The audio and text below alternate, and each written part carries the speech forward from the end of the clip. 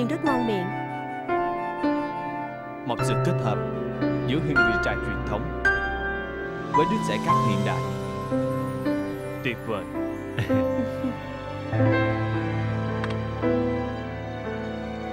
Ngọc Ngọc Em thấy loại nước giải khát kết hợp với thành phần thảo mộc mới này như thế nào?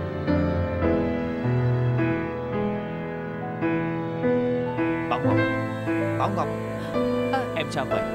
ủa dạ mọi người nói tới đâu rồi ạ Anh muốn biết nhận xét của em về loại nước giải khát này ờ dạ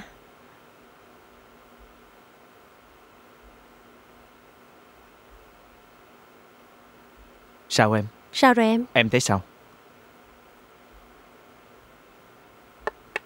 em em xin lỗi mọi người nha em thấy tinh thần em không có được tốt nên em không có dám đưa ra nhận xét gì hết em sợ là em sẽ đưa ra nhận xét lệch lạc Ờ, thôi.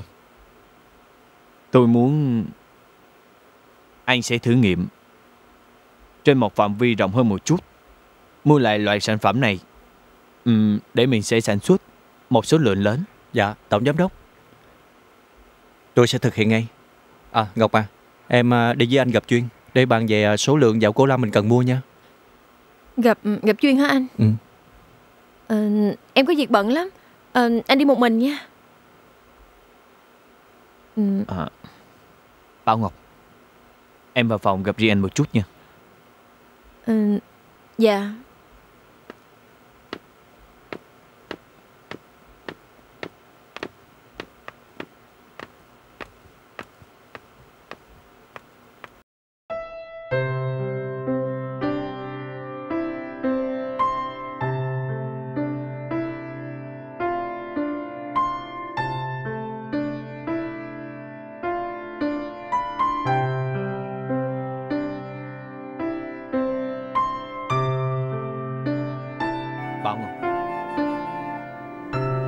chuyện gì đang xảy ra phải không?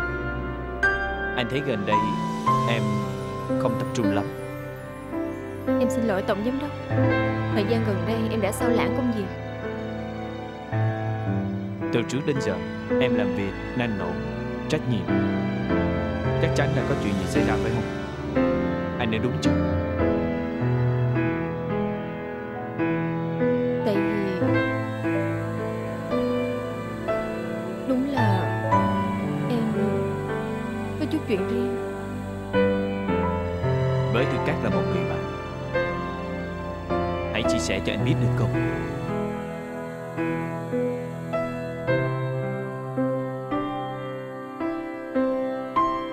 Quê anh à Em có thể khóc được không? Nếu em muốn khóc, em hãy khóc. To thật là to cho nhẹ lòng.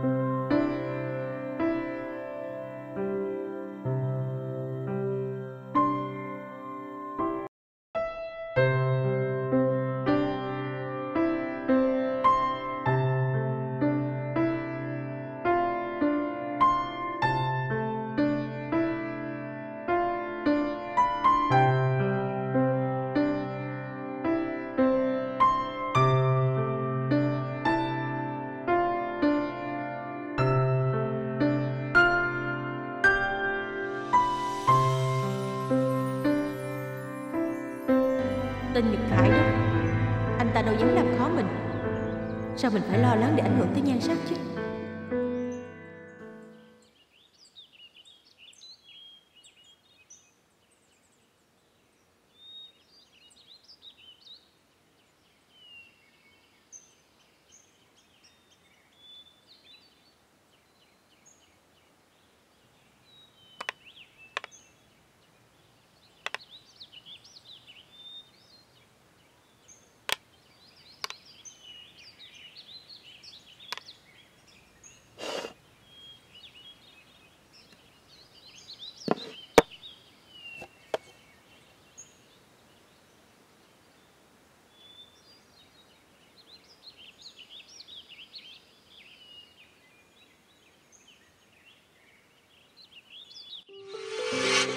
Nhưng Thật sự cô đã thua rồi. Chúng ta về thôi Bảo Ngọc. Việc cắt giữa Casey và Tùng Khang Phải tiến hành gấp. Mình đi thôi.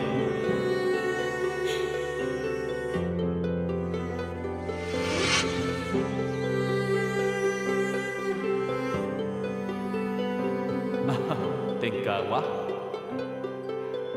Tôi có thể ngồi chung bàn với cô Miên Châu được không? Vì sự háo thắng của cô Lúc nào cũng khiến cô Muốn chiến thắng tất cả mọi người Nhưng trên thực tế Chẳng ai muốn đấu với cô cả Vì cô chẳng có gì Làm người ta muốn đấu Cô hiểu chưa vậy? Anh ơi Let's sit here.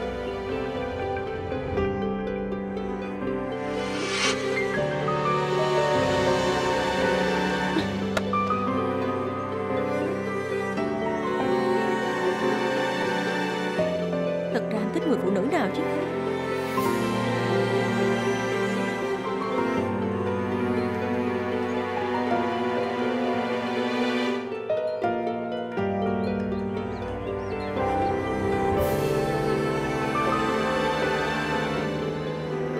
Tôi chưa từng để tâm tới bất cứ một người đàn ông nào.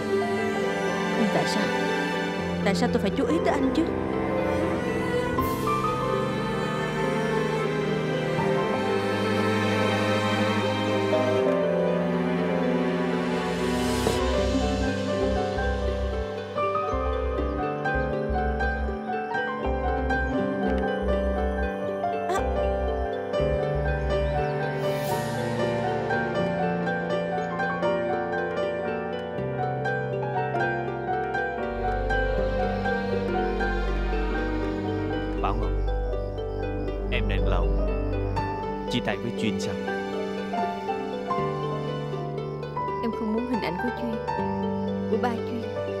Lại một lần nữa làm cho mẹ em đau khổ.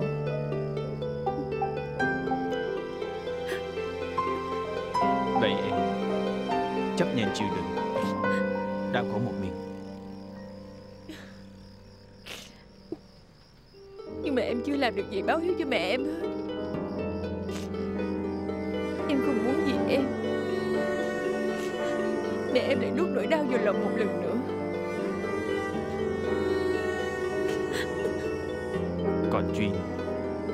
Cậu ấy Cũng đã đau lòng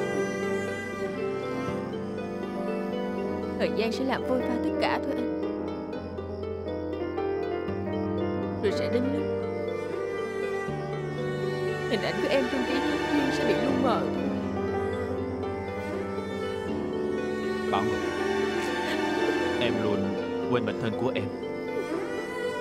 Mà lúc nào cũng nghĩ Niềm vui và hạnh phúc của người khác không Anh đừng có nói giống như em cao thượng như vậy.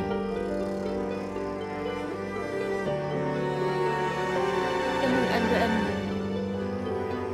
Anh lúc nào cũng ở bên cạnh em. Trong lúc em đau khổ. Đấy. Em đừng nói cảm ơn anh. Anh không nhận đâu. Khi nào em trở lại với niềm vui và hạnh phúc của em, Anh mới yên tâm.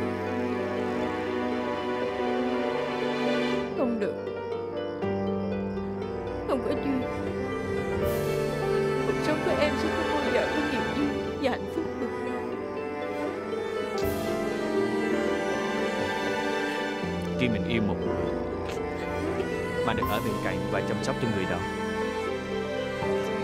Thì đó là một niềm vui và hạnh phúc vô bờ. Nhưng anh và em Đều không phải là người may mắn.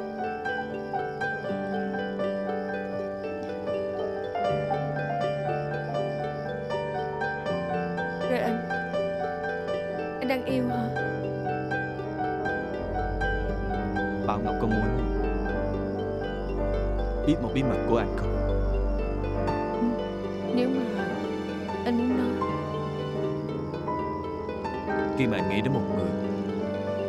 Anh luôn đau lòng. Vì người đó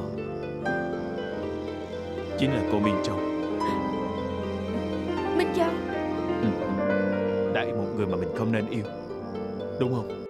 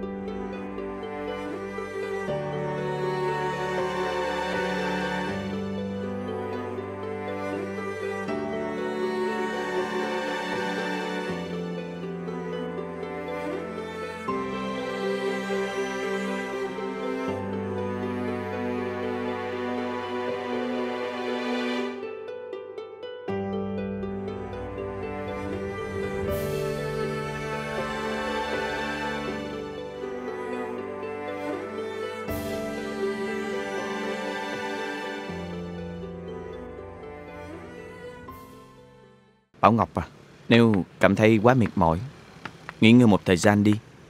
Đừng có làm việc nhiều quá. Ừ. Tổng giám đốc ưu ái em quá nhiều rồi đó. Nhưng mà nghỉ ngơi có bị trừ lương không? Dĩ nhiên là có. Nhưng anh sẽ lấy lương của anh chia đôi với em. Em ghi nhớ câu này đấy nha. Ừ Anh đừng có hối hận đó. Thôi, em xin phép, em vô nhà nha. Tạm biệt. Bảo Ngọc Anh buông tay em ra đi. Em đã nói là anh đừng có kiếm em nữa mà. Anh thật sự rất là nhớ em Chúng ta không thể nào chia tay như vậy được đâu Vì bây giờ anh muốn làm sao đây? Anh muốn hai đứa mình hạnh phúc vui vẻ bên nhau. Mặc cho cảm giác đau khổ của mẹ em và cảm giác tội lỗi của ba anh hả?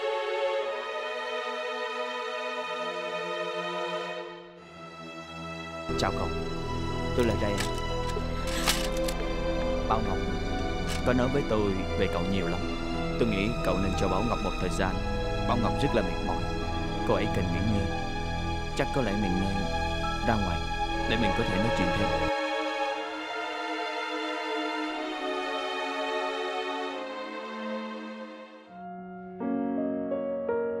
Tôi biết cậu đang rất đau khổ.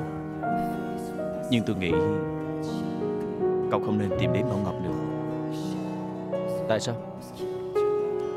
Cậu hãy để Bảo Ngọc có khoảng lặng suy nghĩ đi. Để lòng cô ấy trở lại bình yên. Tôi nói cậu phải tin tôi. Bảo Ngọc cũng đau khổ Không kém gì cậu đâu. Nhưng tôi biết Cô ấy có lý do gì Khi quyết định như vậy. Tại sao tôi và Bảo Ngọc yêu nhau thật lòng Nhưng lại không đến được với nhau chứ Không hẳn là không có thể. Nhưng ngay lúc này, Tôi nghĩ cậu nên giữ một khoảng cách Để Bảo Ngọc có thể bình yên. Trước hết, Cô ấy phải tìm mọi cách để quên quá khứ, Để có thể đối diện với ba của cậu.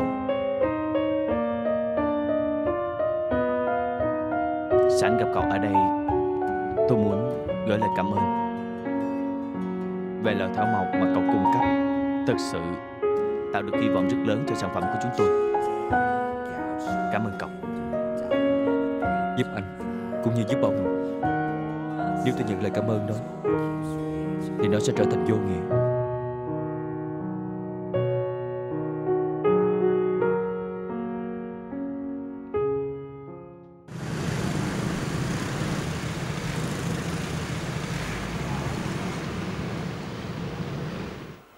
Tôi đã thử nghiệm với số lượng lớn và kết quả rất tốt.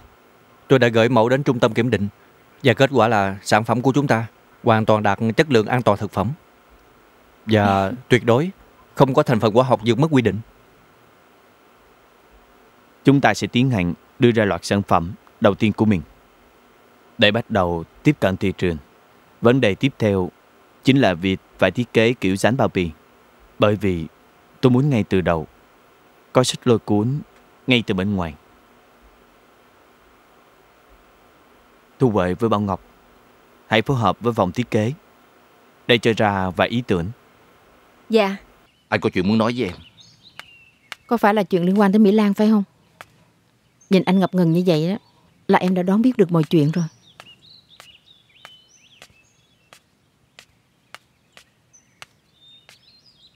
Anh Anh muốn xuống thăm Mỹ Lan một chuyến. Anh muốn nói với bà ấy một câu xin lỗi. Và mong được tha thứ Đồng thời Anh cũng muốn xin nhận lại đứa con của mình. Thanh à Anh biết em đã rất bao dung. Cho nên từ khi biết chuyện Em cũng đã không hờn trách anh. Lần này em cho anh đi nghe.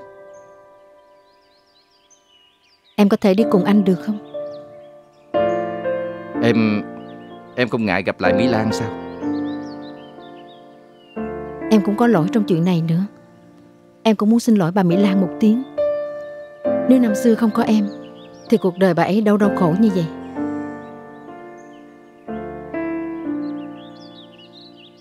Tuy anh đã làm nhiều chuyện sai trái với Mỹ Lan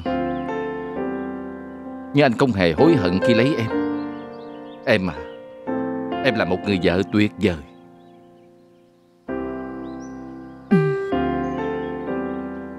Em cũng đã may mắn có được anh rồi Tuy chúng ta đã làm cho Mỹ Lan đau khổ Nhưng nói thật là Nếu không có anh Chắc em cũng không sống nổi Cảm ơn em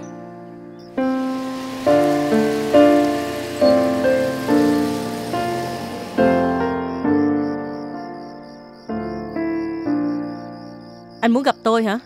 Có chuyện gì vậy?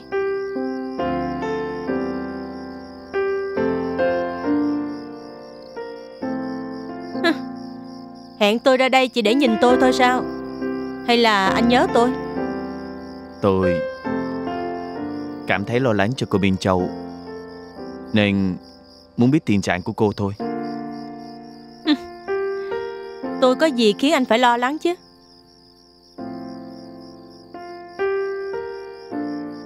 Nhật Khải không làm có cho cô chứ Anh ta thì dám làm gì tôi? Nhật Khải không phải là người đơn giản. Cho nên không nên xem thường.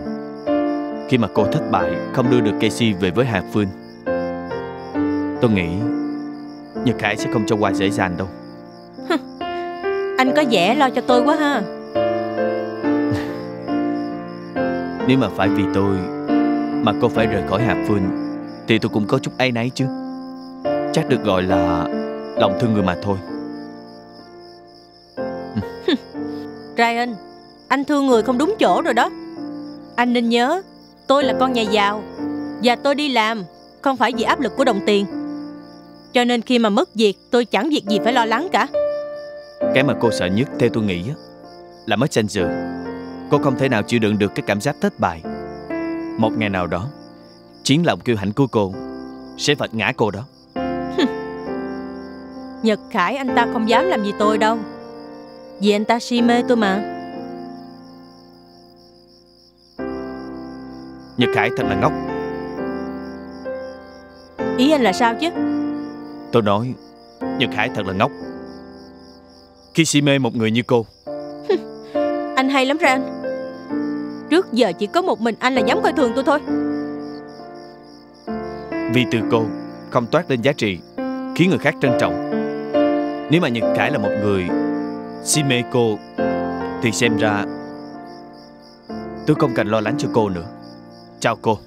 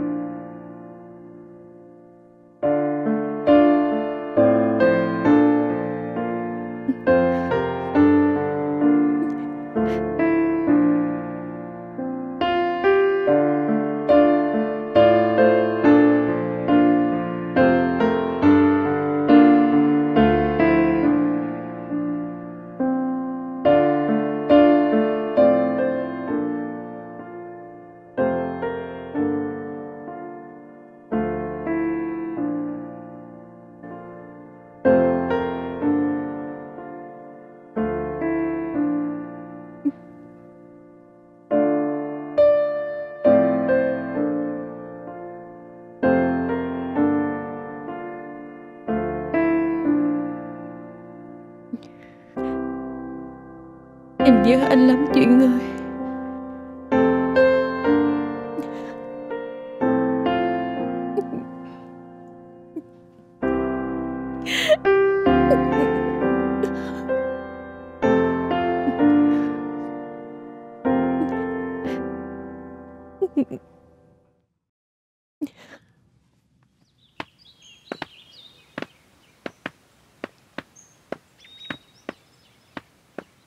Kết quả nghiên cứu rất là khả quan. Cảm ơn anh đã hỗ trợ nguyên liệu trong suốt thời gian qua. Tôi rất mừng. Cái ý tưởng đó được áp dụng vào sản xuất nước giải khát thành công. Hôm nay, tôi muốn đặt thêm số lượng dạo cổ lam để đem về đưa vào sản xuất. Loại dạo cổ lam này được công ty tôi phân phối sỉ và lẻ thông qua một công ty trung gian khác. Nếu Tùng Khang muốn chọn loại thảo dược này đưa vào sản xuất, tôi nghĩ anh nên gặp trực tiếp người bên công ty nhập khẩu. Như vậy thì sẽ tiết kiệm được chi phí đầu vô và sẽ không cần phải thông qua công ty trung gian của tôi. Loại thảo dược này rất có tiềm năng. Tôi nghĩ khi tung ra thị trường sẽ tạo nên một cơn gió lạ và mọi người sẽ tiếp nhận nó.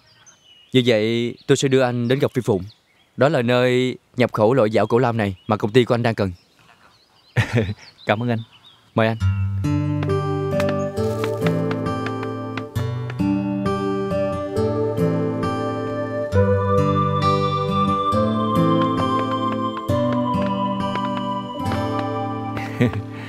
Xin cảm ơn sự hợp tác của cô Phi Phụng. Dạ Loại thảo dược dảo cổ lam này trước giờ tôi để cho anh chuyên phân phối độc quyền Nay thì anh là người anh chuyên giới thiệu Tất nhiên tôi phải giúp đỡ rồi Cảm ơn cô. Hy vọng là em sẽ lấy giá thành tốt cho Tùng Khang. Yên tâm, đó là người quen mà Nha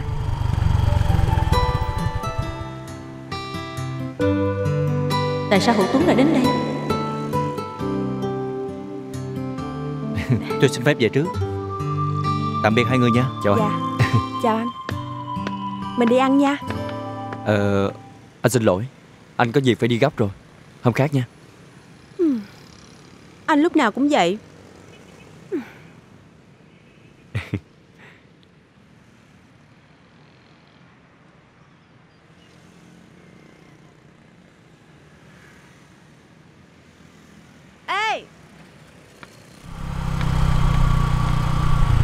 Phi Phụng À Minh Châu.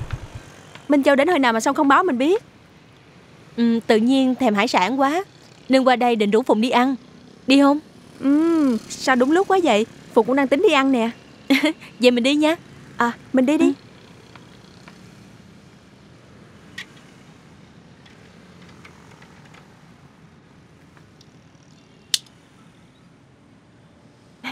Mình đi đường này nè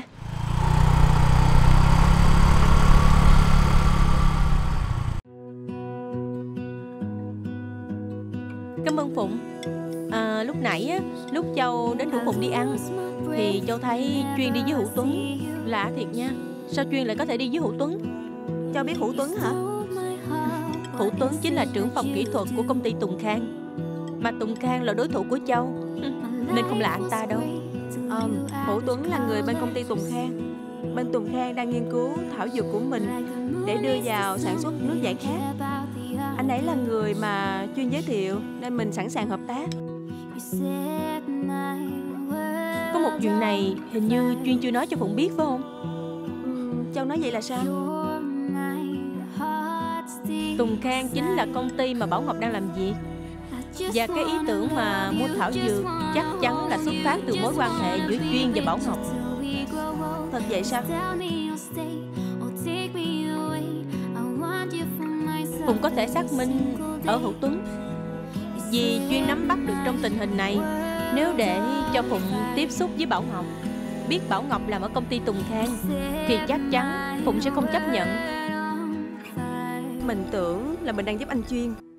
Quá ra là mình đang giúp cho Bảo Ngọc. Đây có lẽ là sản phẩm mà công ty Tùng Khang sắp tung ra Để cứu lại danh tiếng của mình. Nếu như bây giờ Phụng không hợp tác nữa Có nghĩa là Tùng Khang không thể tung ra sản phẩm mới. Bảo Ngọc lại thất bại. Lần nữa Mình sẽ làm cho Bảo Ngọc Và cái công ty đó điêu đứng thêm một lần nữa. Lô hàng này mình sẽ không cho nhập về. Lúc nãy cũng chỉ là bàn bạc Chưa ký hợp đồng gì hết. Nhưng nếu họ tìm được nguồn hàng khác thì sao?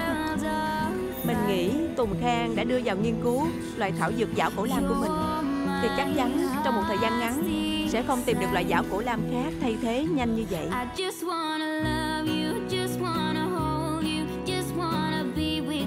Mà việc này nếu mà có tìm nguồn khác nữa Thì việc nghiên cứu cũng sẽ rất là khó khăn Nghĩa là cách này của Phụng Hoàn toàn có thể ngăn chặn Tùng Khang ngôi lên Giả lại, mình nghĩ nơi của mình bây giờ là một trong những nơi cung cấp gạo khổ lam nhiều nhất và chất lượng nhất. Khó có thể tìm thấy một nguồn cung cấp chất lượng như vậy. I just want you, I just need you.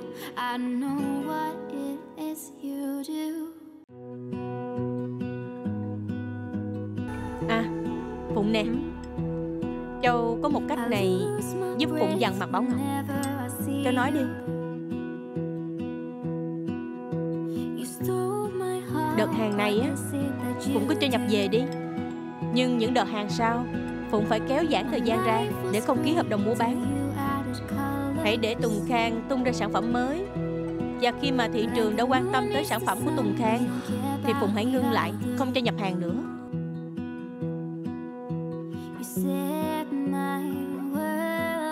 Nghĩa là cứ để họ tốn một khoản chi phí rất lớn cho việc đầu tư tung chiến lược sản phẩm. Sau đó thì mình sẽ cắt nguồn hàng. Họ không thể sản xuất được trong khi mà thị trường đang tiêu thụ. Ý cho là vậy đúng không?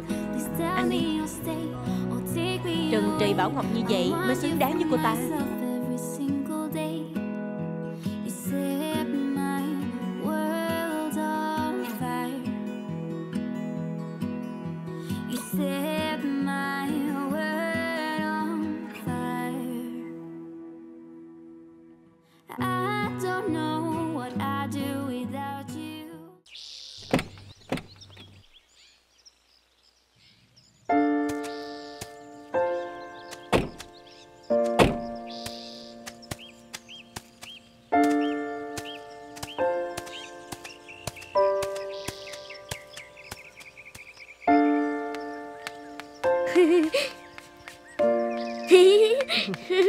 Nè con. Dạ. Nè Hả miệng nè. Giỏi quá. Rồi. Vậy ít thưa con ơi Đau sốc hông đó? Con đi được rồi.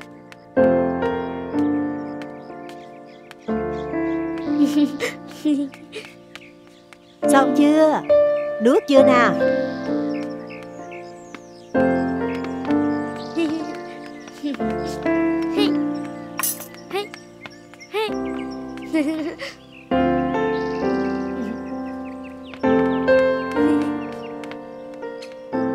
Ông bà đến đây làm gì?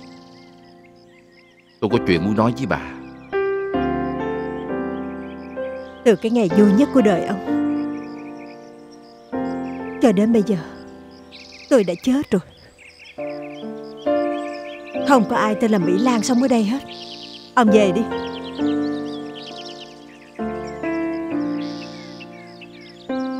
Tôi biết Tôi có lỗi với bà rất nhiều Dù bà có trách móc tôi bất cứ điều gì Tôi vẫn xin chấp nhận. Chỉ xin bà Nhận lời xin lỗi của tôi Và cho tôi được nhận lại con Để bù đắp cho nó những thiệt thòi. Đứa con mà Mà ông đã chối bỏ Bắt tôi phải giết chết đi khi chưa ra đời. Bây giờ ông đủ tư cách Ông xin tôi nhận lại con sao? Tôi biết Tôi không có quyền yêu cầu bà bất cứ điều gì. Năm đó, Sau khi kết hôn, Tôi đã lén vợ đi tìm mẹ con bà. Nhưng không một ai biết bà ở đâu. Hai mươi mấy năm qua, Lúc nào tôi cũng canh cánh ở bên lòng. Không biết bà và con Đang ở đâu. Vậy thì ông hãy coi như mẹ con tôi không còn trên đời này nữa. Ông chối bỏ cái sự gặp lại này đi Như trước đây ông đã từng chối bỏ mẹ con tôi. Ông đi đi. Được giải về nguồn Bà không thể không cho con nó biết cha nó là ai. Mẹ Con đi mua xà bông giặt đồ nghe mẹ. Ờ đi đi con. Ờ. Hả? Ủa ai vậy mẹ Cháu có phải là Muốn hỏi tên tôi hả? Tôi tên là Bảo Kim á Tên đẹp ha. Con chính là Bảo Kim. Ờ Tôi nè. Sao có hỏi hoài vậy? Nó là con của chúng ta phải không bà? Ờ, ờ, Thôi con đi đi. Dạ. Nhanh lên Đưa bà Tiên Dạ. đi đi. Bảo Tiên Dạ. Đi với mẹ nè. Dạ. Đi đi Đi đi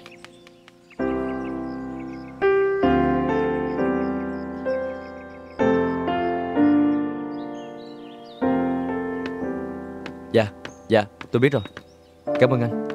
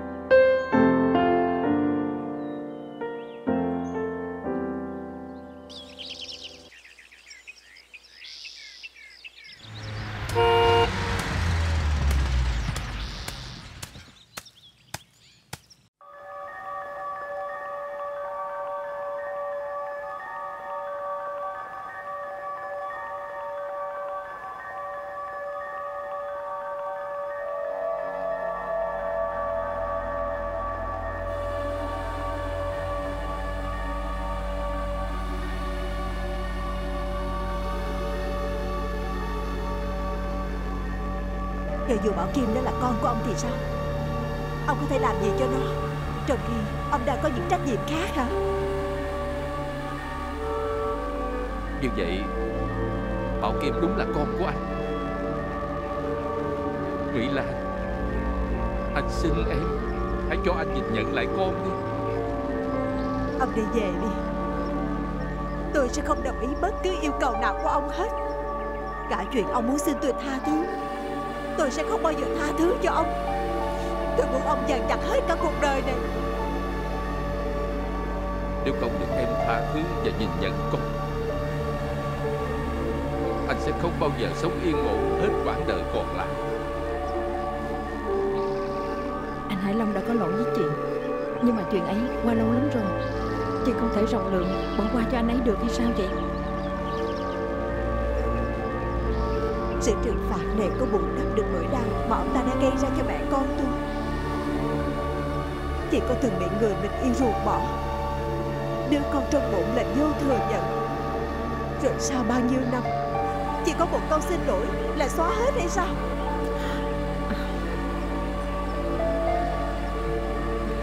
Nếu tôi phải quỳ xuống đây Để xin bà tha thứ. Tôi cũng cam lòng.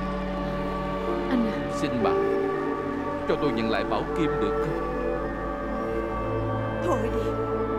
Năm xưa ông cũng đã từng quỳ xuống, Để xin tôi giết chết cái thai, Để nó đừng hủy hoại hạnh phúc của ông.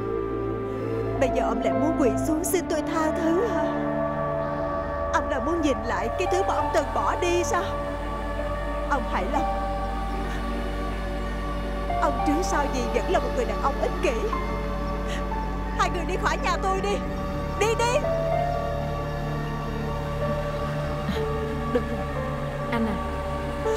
Anh không được tốt. Bây giờ chúng ta đi về thành phố đi. Rồi à, Khi nào mà Mỹ Lan bình tĩnh lại đó Rồi chúng chúng ta xuống Rồi xin chị ấy tha thứ. Đi đi anh. Đi đi. Thôi. Đi ra khỏi nhà tôi